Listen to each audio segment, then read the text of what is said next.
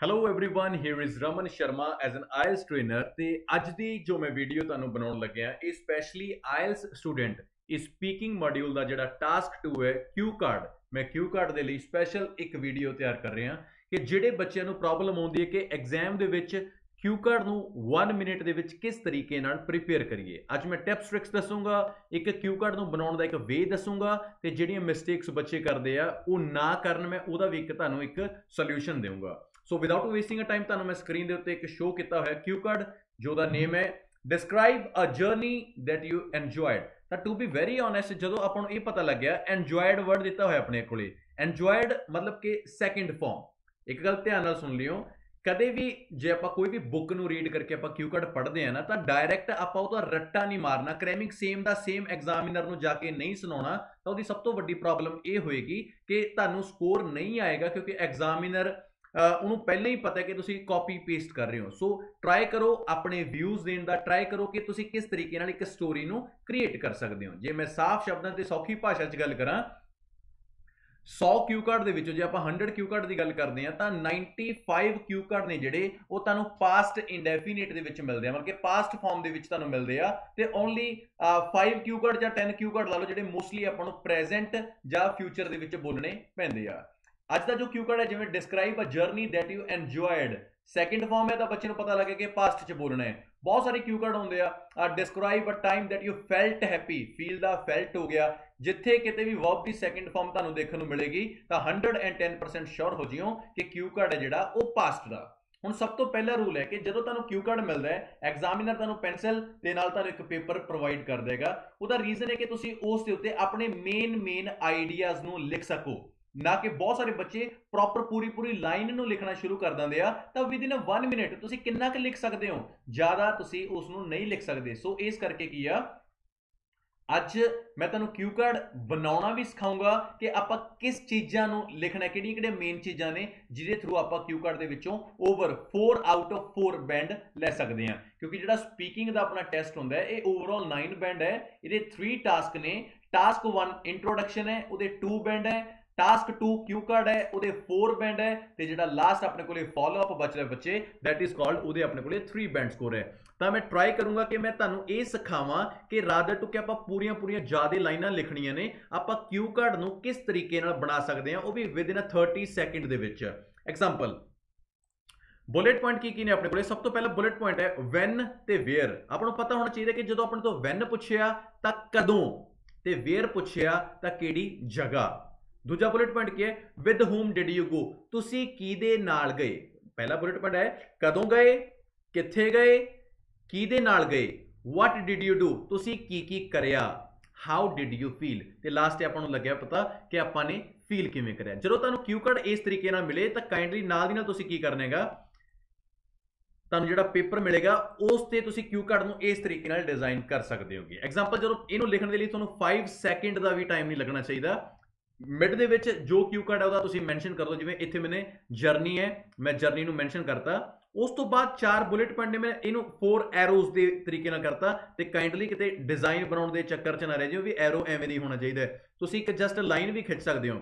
ਸਭ ਤੋਂ ਪਹਿਲਾਂ ਵੈਨ ਐਂਡ ਵੇਅਰ ਦੂਜਾ ਵਿਦ ਹੂਮ ਤੀਜਾ ਵਾਟ ਡਿਡ ਯੂ ਡੂ ਤੇ ਚੌਥਾ ਹਾਊ ਡਿਡ ਯੂ ਫੀਲ ਹੁਣ ਇੱਕ ਗੱਲ ਧਿਆਨ ਰੱਖਿਓ, ਕੋਈ ਕੋਈ ਬੁਲੇਟ ਪੁਆਇੰਟ ਐਵੇਂ ਦਾ ਹੁੰਦਾ ਜਿਹਦੇ ਉੱਤੇ ਆਪਾਂ ਜਸਟ 10 ਟੂ 15 ਸੈਕਿੰਡ ਹੀ ਬੋਲ ਸਕਦੇ ਹਾਂ ਤੇ ਕੋਈ ਕੋਈ ਬੁਲੇਟ ਪੁਆਇੰਟ ਐਵੇਂ ਦਾ ਹੁੰਦਾ ਜਿਹਦੇ ਆਪਾਂ 30 ਟੂ ਮੋਰ ਸੈਕਿੰਡ ਵੀ ਬੋਲ ਸਕਦੇ ਹਾਂ। ਇਹ ਜ਼ਰੂਰੀ ਨਹੀਂ ਹੁੰਦਾ ਕਿ ਸਾਰਿਆਂ ਦੇ 30 30 30 ਸੈਕਿੰਡਸ ਬੋਲਣੇ ਤੁਸੀਂ ਸਟੋਰੀ ਨੂੰ ਸਭ ਤੋਂ ਪਹਿਲਾਂ ਟਰਾਈ ਕਰੋ ਕਿ ਤੁਹਾਡੀ ਰੀਅਲ ਲਾਈਫ ਨਾਲ ਜੁੜੀ ਹੋਵੇ। ਕਿਉਂਕਿ ਜਦੋਂ ਰੀਅਲ ਲਾਈਫ ਨਾਲ ਜੁੜੀ ਹੋਈ ਕੋਈ ਗੱਲ ਹੁੰਦੀ ਹੈ, ਤਾਂ ਆਪਾਂ ਭੁੱਲਦੇ ਨਹੀਂ ਹੈਗੇ, ਤਾਂ ਆਪਾਂ ਉਹਨੂੰ ਬਹੁਤ ਲੰਬਾ ਲੈ ਕੇ ਜਾ ਸਕਦੇ ਹਾਂ। ਪਰ ਸਮ ਟਾਈਮ ਕੀ ਹੁੰਦਾ ਹੈਗਾ ਕਿ ਕਈ ਵਾਰ ਆਪਾਂ ਨੂੰ ਉਹ ਸਟੋਰੀ ਆਪਣੀ ਲਾਈਫ ਨਾਲ ਨਹੀਂ ਵੀ ਜੁੜੀ ਹੁੰਦੀ ਤਾਂ ਆਪਾਂ ਨੂੰ ਇੱਕ ਇਮੇਜਿਨੇਸ਼ਨ ਇੱਕ ਇਮੇਜਿਨਰੀ ਸਟੋਰੀ ਕ੍ਰੀਏਟ ਕਰਨੀ ਪਏਗੀ ਰਾਦਰ ਟੂ ਕਿ ਆਪਾਂ ਐਗਜ਼ਾਮੀਨਰ ਨੂੰ ਇਹ ਕਹਿ ਦਈਏ ਵੀ ਮੈਨੂੰ ਇਹਦੇ ਬਾਰੇ ਨਹੀਂ ਪਤਾ। ਸੋ ਟੌਪਿਕ ਨੂੰ ਸ਼ੁਰੂ ਕਰਨ ਦਾ ਸਭ ਤੋਂ ਮੇਨ ਤਰੀਕਾ ਕੀ ਹੈਗਾ? ਟਰਾਈ ਕਰੋ, ਸਭ ਤੋਂ ਪਹਿਲੀ ਚੀਜ਼ ਕੀ ਹੈ? ਉਹਦੀ ਜਨਰਲ ਲਾਈਨ ਹੁਣ ਬਹੁਤ ਬੱਚਿਆਂ ਨੂੰ ਲੱਗੇਗਾ ਕਿ sir what is a meaning of general line ਤੁਹਾਨੂੰ ਜੋ ਵੀ ਟੌਪਿਕ ਮਿਲਿਆ, ਤੁਸੀਂ ਉਹਦੇ ਬਾਰੇ ਉਹਦੀ ਇੱਕ ਬੈਕਗ੍ਰਾਉਂਡ ਦੱਸਣੀ ਦੱਸਣੀ ਹੈ। ਐਗਜ਼ਾਮਪਲ ਜਿਵੇਂ ਜਰਨੀ ਹੈ। ਜਿੰਨੇ ਸਟੂਡੈਂਟ ਇਹਦੇ ਜਰਨੀ ਬਾਰੇ ਬੋਲ ਕੇ ਆਉਣਗੇ, ਸ਼ਾਇਦ ਸਭ ਆਪੋ ਆਪਣੇ ਤਰੀਕੇ ਨਾਲ ਬੋਲ ਸਕਦੇ ਤੇ ਗਲਤ ਕੋਈ ਵੀ ਨਹੀਂ ਹੈਗਾ। ਐਗਜ਼ਾਮਪਲ ਦੇਵਾਂ, ਜੇ ਮੈਂ ਇਸ ਲਾਈਨ ਨੂੰ ਬੋਲੂੰਗਾ ਜਰਨੀ ਦੀ ਇੰਟਰੋਡਕਸ਼ਨ ਮੈਂ ਦੇਵਾਂਗਾ, ਤਾਂ ਮੈਂ ਬੋਲ ਸਕਦਾ we all are living in 21st era. For the relaxation people usually prefer to go on journey ਜਾਂ ਇਹਨੂੰ ਹੋਰ ਤਰੀਕੇ ਨਾਲ ਵੀ ਬੋਲ ਸਕਦੇ ਆ, ਜਿਵੇਂ journey plays a vital role in human life for the relaxation ਕੋਈ ਕਿਸ ਤਰੀਕੇ ਨਾਲ ਵੀ ਬੋਲੇ, ਪਰ ਜਰਨੀ ਦੇ ਬਾਰੇ ਇੱਕ ਬੈਕਗ੍ਰਾਉਂਡ ਉਹਨੂੰ ਬੋਲਣਾ ਹੀ ਬੋਲਣਾ ਪਊਗਾ। ਜੇ ਤੁਸੀਂ ਡਾਇਰੈਕਟ ਵੈਨ ਤੋਂ ਸ਼ੁਰੂ ਕਰਤਾ, ਤੁਹਾਨੂੰ ਸਕੋਰ ਹੈ ਜਿਹੜਾ, ਉਹ ਬਿਲਕੁਲ ਡਿਡਕਟ ਹੋਏਗਾ। ਸੋ ਟਰਾਈ ਕਰਿਆ ਕਰੋ, ਜਿਹੜਾ ਵੀ ਕਿਊ ਕਾਰਡ ਹੈ, ਉਹਦੇ ਬਾਰੇ ਇੱਕ ਲਾਈਨ ਜਾਂ ਦੋ ਲਾਈਨਾਂ ਉਹਦੇ ਪਾਸਟ ਬਾਰੇ ਤੁਹਾਨੂੰ ਪਤਾ ਹੋਣੀਆਂ ਲਾਜ਼ਮੀ ਚਾਹੀਦੀਆਂ ਨੇ। ਸੈਕੰਡ ਚੀਜ਼, ਜਦੋਂ ਆਪਾਂ ਨੂੰ ਪੁੱਛਿਆ ਵੈਨ ਤੇ ਵੇਅਰ ਵੈਨ ਕੀ ਹੁੰਦਾ ਇੱਕ ਟਾਈਮ ਹੈ। ਹੁਣ ਯਾਰ, ਆਪਾਂ ਨੂੰ ਉੱਥੇ ਜ਼ਰੂਰੀ ਥੋੜੀ ਹੈ ਕਿ ਆਪਾਂ ਟਰਸਟਵਰਦੀ ਬਣ ਕੇ ਪ੍ਰੋਪਰ ਸਟੋਰੀ ਨੂੰ ਟਰੂਲੀ ਦੱਸਣਾ ਹੁੰਦਾ ਹੈਗਾ। ਟਰਾਈ ਕਰੋ, ਮੇਰੀ ਇੱਕ ਗੱਲ ਨੂੰ ਫੋਲੋ ਕਰਕੇ ਦੇਖਿਓ, ਤੁਸੀਂ, ਤੁਹਾਨੂੰ ਕਿਊ ਕਾਰਡ ਹੈ ਜਿਹੜਾ, ਨਾਲ ਤਾਂ ਸ਼ਾਰਟ ਟਰਮ ਚ ਬੰਨਣਾ ਸ਼ੁਰੂ ਹੋ ਜਾਊਗਾ 25 30 ਸੈਕਿੰਡ ਦੇ ਵਿੱਚ। ਤੇ ਦੂਜੀ ਗੱਲ ਮੇਨ ਦੱਸਾਂ ਮੈਂ ਕਿ ਤੁਹਾਨੂੰ ਨਵੇਂ-ਨਵੇਂ ਆਈਡੀਆ ਨੂੰ ਲੈ ਕੇ ਆਉਣ ਦੀ ਲੋੜ ਨਹੀਂ। ਇੱਕ ਕਿਊ ਕਾਰਡ ਤਿਆਰ ਕਰ ਲਓ ਘੱਟੋ ਘੱਟ 5-10 ਕਿਊ ਕਾਰਡ ਆਟੋਮੈਟਿਕਲੀ ਬਣ ਹੀ ਜਾਂਦੇ ਨੇ। ਐਗਜ਼ਾਮਪਲ ਦੇਣਾ ਜੇ ਮੈਂ ਵੈਨ ਹੈ, ਹਮੇਸ਼ਾ ਇੱਕ ਗੱਲ ਦਿਮਾਗ 'ਚ ਰੱਖੋ ਵੈਨ ਨੂੰ ਤੁਸੀਂ ਲਾਸਟ ਈਅਰ ਕੰਡਕਟ ਕਰ ਲਓ। ਐਗਜ਼ਾਮੀਨਰ ਨਾ ਤੁਹਾਡੇ ਤੋਂ ਡੇਟ ਪੁੱਛਦਾ, ਨਾ ਤੁਹਾਡੇ ਤੋਂ ਟਰੈਵਲ ਦੀਆਂ ਟਿਕਟਾਂ ਲੈਂਦਾ, ਉਹਨੂੰ ਕੀ ਲੈਣਾ ਉਹਨੂੰ ਇੱਕ ਸਟੋਰੀ ਬਣਾਉਣੀ ਚਾਹੀਦੀ ਹੈ। ਜਦੋਂ ਵੀ ਕਿਸੇ ਪੁਰਾਣੀ ਗੱਲ ਕਰਨੀ ਹੈ, ਤੁਸੀਂ ਲਾਸਟ ਈਅਰ ਦੀ ਗੱਲ ਕਰਕੇ ਤੇ ਵੇਅਰ ਹੁਣ ਜੇ ਜਰਨੀ ਤੇ ਜਾਣਾ ਤਾਂ ਘੱਟੋ ਘੱਟ ਤੁਹਾਨੂੰ ਇਹ ਪਤਾ ਹੋਵੇ ਜਰਨੀ ਤੇ ਕਿੱਥੇ ਜਾ ਸਕਦੇ ਆ ਚਲੋ ਆਪਾਂ ਸ਼ਿਮਲਾ ਚੱਲਦੇ ਆ ਸ਼ਿਮਲਾ। ਆਪਣੇ ਦੋ ਵਰਡ ਲਿਖੇ ਨੇ ਕਿ ਜਦੋਂ ਮੈਂ ਆਪਣੀ ਸਟੋਰੀ ਨੂੰ ਸਟਾਰਟ ਕਰੂੰਗਾ ਵੀ ਉਹ ਮੈਂ ਆਪਣੇ ਤਰੀਕੇ ਨਾਲ ਉਹਨੂੰ ਮੋਲਡ ਕਰ ਰਿਹਾ, ਇਹ ਇੱਕ ਕਲੂ ਨੇ ਵੀ ਮੈਂ ਆਪਣੀ ਸਟੋਰੀ ਨੂੰ ਭੁੱਲੂੰਗਾ ਨਹੀਂ ਤੇ ਸਾਰੇ ਦੇ ਸਾਰੇ ਬੁਲੇਟ ਪੁਆਇੰਟ ਨੇ, ਉਹ ਬੋਲਣੇ ਬੜੇ ਲਾਜ਼ਮੀ ਹੈ। ਮਤਲਬ ਕਿ ਲਾਸਟ ਈਅਰ ਗਿਆ ਸੀ, ਕਿੱਥੇ ਗਿਆ ਸੀ? ਸ਼ਿਮਲਾ। ਇਸ ਤੋਂ ਬਾਅਦ ਦੂਜਾ ਬੁਲੇਟ ਪੁਆਇੰਟ ਆਪਣੇ ਕੋਲ ਕੀ ਹੈ? ਮੈਂ ਤਾਂ ਕਲਰ ਹੈ ਜਿਹੜਾ ਉਹ ਚੇਂਜ ਕਰਨਾ, ਤੁਹਾਨੂੰ ਪਤਾ ਲੱਗ ਜਾਵੇ ਵੀ ਮੇਰੇ ਮੇਨ ਮੇਨ ਪੁਆਇੰਟਸ ਨੇ। ਤੇ ਮੈਂ ਤੁਹਾਨੂੰ ਬੋਲ ਕੇ ਵੀ ਸੁਣਾ ਸਕਦਾ ਇਹ।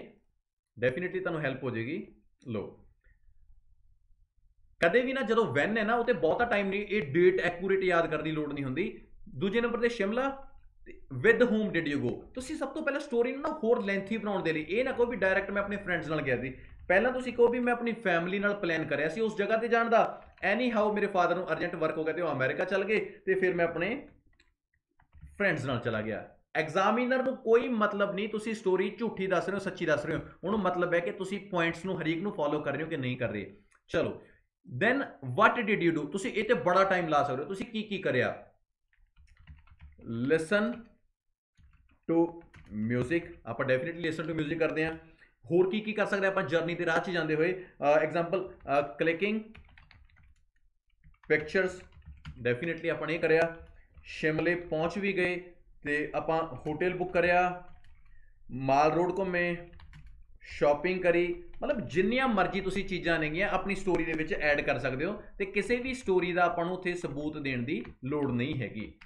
ਹੋਰ ਵੀ ਕੋਈ ਵਾਰ ਕੋਈ ਚੀਜ਼ ਯਾਦ ਆ ਜਾਂਦੀ ਤਾਂ ਅਸਲ ਦੇ ਵਿੱਚ ਕੀ ਹੁੰਦਾ? ਮਿਰਚ ਮਸਾਲਾ ਲਾਣਾ ਹੁੰਦਾ, ਤੁਸੀਂ ਆਪਣੇ ਤਰੀਕੇ ਨਾਲ ਚਾਹੇ ਝੂਠਾ ਬੋਲੋ, ਸੱਚਾ ਬੋਲੋ, ਪਰ ਤੁਸੀਂ ਬੋਲ ਕੇ ਦਿਖਾਓ this is called a speaking skill ਤੇ ਲਾਸਟ ਆਪਣਾ ਹਾਊ ਡਿਡ ਯੂ ਫੀਲ ਹੁਣ ਹਰ ਵਾਰ ਨਵਾਂ ਫੀਲ ਕਰਨ ਦੀ ਲੋੜ ਨਹੀਂ ਹੁੰਦੀ। ਜੇ ਗੁੱਡ ਫੀਲ ਹੋਇਆ, ਤਾਂ ਤੁਹਾਨੂੰ ਪਤਾ ਹੋਣਾ ਚਾਹੀਦਾ ਕਿ ਮੈਂ ਗੁੱਡ ਨੂੰ ਕਿਵੇਂ ਬੋਲਣਾ ਹੈ ਬੈਡ ਫੀਲ ਹੋਇਆ, ਤੁਹਾਨੂੰ ਪਤਾ ਹੋਵੇ ਮੈਂ ਬੈਡ ਨੂੰ ਕਿਵੇਂ ਬੋਲਣਾ ਹੈ। ਹੁਣ ਇੱਕ ਗੱਲ ਯਾਦ ਰੱਖੋ, ਬੜੇ ਤਰੀਕੇ ਨਾਲ ਦੱਸਦਾ, ਹਰ ਬੁਲੇਟ ਪੁਆਇੰਟ ਖਤਮ ਹੋਣ ਤੋਂ ਬਾਅਦ ਇੱਕ ਕਨੈਕਟਰ ਲਾਉਣਾ ਬੜਾ ਜ਼ਰੂਰੀ ਹੈ। ਕਨੈਕਟਰ ਤੋਂ ਐਗਜ਼ਾਮੀਨਰ ਨੂੰ ਇਹ ਪਤਾ ਲੱਗ ਜਾਏਗਾ ਕਿ ਇਹਨੇ ਇੱਕ ਬੁਲੇਟ ਪੁਆਇੰਟ ਨੂੰ ਖਤਮ ਕਰਤਾ ਤੇ ਹੁਣ ਇਹ ਨੈਕਸਟ ਬੁਲੇਟ ਪੁਆਇੰਟ ਦੇ ਉੱਤੇ ਆ ਗਿਆ। ਮੈਂ ਇਹਦਾ ਕਲਰ ਵੀ ਚੇਂਜ ਕਰਦਾ ਤੁਹਾਨੂੰ। ਪੰਜ ਛੇ ਕਨੈਕਟਰ ਦੱਸ ਨਾ ਤੁਸੀਂ ਹਰ ਉਹ ਤੋਂ ਚੇਂਜ ਹੋਣ ਤੋਂ ਬਾਅਦ ਉਹਨਾਂ ਨੂੰ ਆਪਣੇ ਉਹਦੇ ਵਿੱਚ ਮੈਂਸ਼ਨ ਕਰ ਸਕਦੇ ਹੋ। ਡੈਫੀਨਿਟਲੀ ਆ ਦੇਖੋ, ਇਹ ਆਪਾਂ ਬਲੂ ਕਰ ਦਿੰਦੇ ਇਹਦਾ ਕਲਰ ਇੱਕ ਜਗ੍ਹਾ ਤੇ ਮੈਂ ਮੋਰ ਓਵਰ ਬੋਲੂੰਗਾ, ਜਦੋਂ ਮੈਂ ਵੈਨ ਤੇ ਵੇਅਰ ਨੂੰ ਬੋਲ ਕੇ ਹਟ ਜਾਊਂਗਾ ਇਸ ਤੋਂ ਬਾਅਦ ਮੈਂ ਨਾ ਜਦੋਂ ਵਿਦ ਹੋਮ ਨੂੰ ਬੋਲ ਕੇ ਹਟੂੰਗਾ, ਫਿਰ ਮੈਂ ਇੱਥੇ ਚੇਂਜ ਕਰ ਦੂੰਗਾ, ਮੈਂ ਫਰਦਰ ਮੋਰ ਲਾ ਲੂੰਗਾ। ਡੈਫੀਨਿਟਲੀ ਮੇਰਾ ਦੂਜਾ ਵੀ ਹੋ ਗਿਆ ਫਰਦਰ ਮੋਰ ਜਦੋਂ ਮੈਂ ਇਹਨੂੰ ਬੋਲ ਕੇ ਇਹ ਸਾਰੀ ਕੰਪਲੀਟ ਕਰ ਕਰੂੰਗਾ ਤੇ ਇਹ ਮੇਰੇ ਕੋਲ ਇਹ ਰਹਿ ਗਿਆ ਨਾ, ਤਾਂ ਮੈਂ ਇੱਥੇ ਬੋਲ ਦੂੰਗਾ ਮੋਰ ਓਵਰ ਫਰਦਰ ਮੋਰ ਮੈਂ ਦੈਨ ਵੀ ਬੋਲ ਸਕਦਾ, ਮੈਂ ਨੈਕਸਟ ਵੀ ਬੋਲ ਸਕਦਾ, ਮੈਂ ਆਫਟਰ ਦੈਟ ਵੀ ਬੋਲ ਸਕਦਾ। That all depends on you ਤੇ ਜੇ ਲਾਸਟ ਬੁਲੇਟ ਪੁਆਇੰਟ ਹੈ, ਤੁਸੀਂ ਲਾਸਟ ਤੇ ਤੁਸੀਂ ਇਹਨੂੰ ਫਾਈਨਲੀ ਵੀ ਬੋਲ ਸਕਦੇ ਹੋ। ਚੁਆਇਸ ਆਪੋ ਆਪਣੀ ਹੈਗੀ, ਠੀਕ ਹੈ ਨਾ? ਮੈਂ ਤੁਹਾਨੂੰ ਹਰ ਇੱਕ ਬੱਚੇ ਨੂੰ ਇੱਕ ਚੀਜ਼ ਬੜੇ ਤਰੀਕੇ ਨਾਲ ਕਹਿਣਾਗਾ ਆਲ ਡਿਪੈਂਡ ਔਨ ਯੂ ਤੁਸੀਂ ਕਿਸ ਤਰੀਕੇ ਨਾਲ ਇਸ ਨੂੰ ਪਰਫਾਰਮ ਕਰਦੇ ਹੋਗੇ? ਮੈਂ ਹਰੇਕ ਬੱਚੇ ਨੂੰ ਇਹੀ ਚੀਜ਼ ਕਹੂੰਗਾ ਬੱਚੇ ਕਿ ਆਲ ਡਿਪੈਂਡ ਕਿ ਆਪਾਂ ਇਹਨੂੰ ਪਰਫਾਰਮ ਕਿਵੇਂ ਕਰਨਾ ਹੈ। ਫਾਈਨਲੀ ਮੈਨੂੰ ਲੱਗਦਾ ਫਾਈਨਲੀ ਸ਼ਾਇਦ F I N A double L Y maybe this is right. Just wait, let me check. I have confusion here. Okay, done. ਦੇਖੋ, ਮੈਂ ਇੱਕ ਐਸ ਜਿਹੜਾ ਤੁਹਾਡਾ ਕਿਊ ਕਾਰਡ ਹੈ, ਇਹਨੂੰ ਬਣਾਉਣ ਦੇ ਲਈ ਮੈਨੇ ਕੀ ਕੀਤਾ? ਐਸੇ ਨੂੰ ਵਿਚਾਲੇ ਲਿਖਿਆ, ਜੋ ਵੀ ਮੈਂ ਬੋਲਣਾ, ਜੋ ਕਿਊ ਕਾਰਡ ਬੋਲਣਾ, ਉਹਦੀਆਂ ਚਾਰੇ ਜਿੰਨੇ ਬੁਲੇਟ ਪੁਆਇੰਟਸ ਉਹਨਾਂ ਨੂੰ ਮੈਂ ਫੈਲਾ ਲਿਆ। ਹਰੇਕ ਦੇ ਬਾਹਰ ਮੈਂ ਇੱਕ ਇੱਕ ਦੋ ਦੋ ਪੁਆਇੰਟ ਲਿਖ ਲਏ ਕਿ ਮੈਂ ਇਹਨੂੰ ਭੁੱਲਾਂ ਨਾ। ਤੇ ਇੱਕ ਗੱਲ ਯਾਦ ਰੱਖਿਓ, ਇਹ ਜ਼ਰੂਰੀ ਨਹੀਂ ਹੁੰਦਾ, ਬਹੁਤ ਬੰਦਿਆਂ ਨੂੰ ਡਰਾਇਆ ਜਾਂਦਾ ਕਿ ਜਦੋਂ ਤੁਸੀਂ ਸਪੀਕਿੰਗ ਦੇਣੀ ਹੈ ਨਾ, ਤਾਂ ਐਗਜ਼ਾ- ਜਿਹੜਾ ਆਪਣੀ ਸ਼ੀਟ ਹੈ, ਇਹਦੇ ਕਣੀ ਦੇਖਣਾ ਨਹੀਂ ਹੈਗਾ। ਜੇ ਇਹਦੇ ਕਣੀ ਦੇਖਣਾ ਨਹੀਂ ਹੈਗਾ, ਤਾਂ ਇੱਕ ਬੇਨਤੀ ਹੈ, ਉਹ ਆਪਾਂ ਨੂੰ ਦਿੰਦਾ ਹੀ ਕਿਉਂ ਹੈ? ਐਗਜ਼ਾਮੀਨਰ ਆਪਾਂ ਨੂੰ ਪ੍ਰੋਵਾਈਡ ਹੀ ਕਿਉਂ ਕਰਦਾ ਹੈਗਾ ਇਹ? ਉਹਦਾ ਮਤਲਬ ਇਹ ਹੈ ਬੱਚੇ ਕਿ ਸਮ ਟਾਈਮ ਆਪਾਂ ਸਟੋਰੀ ਭੁੱਲ ਗਏ ਤਾਂ ਤੁਸੀਂ ਆਰਾਮ ਨਾਲ ਇਸ ਨੂੰ ਦੇਖ ਸਕਦੇ ਹੋ। ਦੈਟਸ ਇਟ ਕੋਈ ਡਰ ਨਹੀਂ, ਕੋਈ ਕੁਝ ਨਹੀਂ ਹੈਗਾ। ਇਹਦੇ ਕੋਈ ਬੈਂਡ ਡਿਡਕਸ਼ਨ ਨਹੀਂ ਹੈਗੀ। ਕਾਈਂਡਲੀ ਫੇਕ ਐਕਸੈਂਟ ਨਹੀਂ ਬੋਲਣਾ, ਰੱਟਾ ਨਹੀਂ ਮਾਰਨਾ ਤੇ ਸਟੋਰੀ ਨੂੰ ਬਹੁਤ ਅੱਛੇ ਤਰੀਕੇ ਨਾਲ ਤੁਸੀਂ ਬਣਾ ਸਕਦੇ ਹੋ। ਚਲੋ ਆਪਾਂ ਇੱਕ ਵਾਰ ਬਣਾ ਕੇ ਵੀ ਦੇਖਦੇ ਹਾਂ, ਆਪਾਂ ਕਿਸ ਤਰੀਕੇ ਨਾਲ ਚੱਲੀਏ। ਹੁਣ ਜਿਵੇਂ ਜਰਨੀ ਸੀਗਾ, ਮੈਂ ਜਰਨੀ ਦੀ ਇੱਕ ਮੇਨ ਲਾਈਨ ਕੀ ਬੋਲੀ? We all are living in 21st era. Relaxation people relaxation, people to go on go on ਕਿਤੇ ਵੀ ਹਿਲ ਸਟੇਸ਼ਨ ਲਾ ਲਓ whatever xyz uh, today i would like to talk about a journey which i enjoyed ਅੱਜ ਮੈਂ ਇੱਕ ਐਵੇਂ ਦੀ journey ਬਾਰੇ ਗੱਲ ਕਰੂੰਗਾ ਜਿਹੜੀ ਮੈਂ ਬਹੁਤ ਇੰਜੋਏ ਕੀਤੀ well it happened ਜਾਂ it occurred ਇਹ ਕਦੋਂ ਹੋਇਆ uh, ਜਾਂ i enjoyed this journey last year uh, it was the june month I and my family we all planned to go to Shimla ਮਤਲਬ ਕੀ ਹੋ ਗਿਆ? ਮੈਂ ਹੁਣ ਇਹਦਾ ਤੇ ਇਹਦੀ ਦੋਨਾਂ ਦੀ ਟਾਕ ਇਕੱਠਿਆਂ ਦੀ ਕਰ ਰਿਹਾ ਤੇ ਕਈ ਵਾਰ ਕੀ ਹੁੰਦਾ, ਕਈ ਬੱਚਿਆਂ ਨੂੰ ਹੁੰਦਾ ਕਿ ਸਰ ਜੇ ਬੁਲੇਟ ਪੁਆਇੰਟ ਨੇ ਸਾਡੇ ਮਿਕਸ ਹੋ ਗਏ ਸਟੋਰੀ ਬਣਾ ਰਹੇ ਹੈਗੇ, ਇਹ ਜ਼ਰੂਰੀ ਨਹੀਂ ਹੁੰਦਾ ਕਿ ਇੱਕ ਨੂੰ ਪਹਿਲਾਂ ਫਿਨਿਸ਼ ਕਰਕੇ ਦੂਜੇ ਨੂੰ, ਇੱਕ ਦੂਜੇ ਦੇ ਵਿੱਚ ਵੀ ਮਾੜਾ ਮੋਟਾ ਬੋਲਿਆ ਗਿਆ ਦੈਟਸ ਇਟ ਡਰਨਾ ਤਾਂ ਹੈ ਨਹੀਂਗਾ ਗੱਲ ਖਤਮ। ਅਸੀਂ ਪਲਾਨ ਬਣਾਇਆ ਸ਼ਿਮਲਾ ਜਾਂਦਾ because that I am a trainer or I teach in a school ਆਪਾਂ ਕਹਿ ਸਕਦੇ ਮੈਂ ਟ੍ਰੇਨਰ ਹਾਂ, ਮੈਂ ਸਕੂਲ 'ਚ ਟੀਚ ਕਰਦਾ and I just have only a free month that is called a June so we all planned to go to Shimla moreover me and my family we all uh, completed everything to go there but anyhow my father got an urgent work and he went to america so uh, we had a plan i made i immediately i made a call to my friends and they all agreed ਇੱਥੇ ਤੋਂ ਬਾਅਦ ਮੈਂ ਇਹਦੇ ਬਾਰੇ ਵੀ ਬੋਲਤਾ ਹੁਣ ਮੈਨੇ further ਮੋਰ ਤੋਂ ਬਾਅਦ ਕੀ ਬੋਲਣਾ ਹੈ ਮੈਂ ਕਰਿਆ ਕੀ ਕੀ ਵਾਟ ਡਿਡ ਡੂ ਮਤਲਬ ਆਪਣੀ ਚੁਆਇਸ ਹੈ ਯਾਰ ਜਿੰਨਾ ਮਰਜ਼ੀ ਤੁਸੀਂ ਇਸ ਨੂੰ ਮਿਰਚ ਮਸਾਲਾ ਲਾ ਕੇ ਸਟੋਰੀ ਨੂੰ ਲੰਬਾ ਖਿੱਚੀ ਚਲੋ further more me and my friends we all started our journey in the morning time at 4 o'clock because that the summer days and we did not want to spend much time on the road because of the uh, hotness of the sun uh, on the way we listened to music and when we reached at patiala we took our breakfast we were enjoying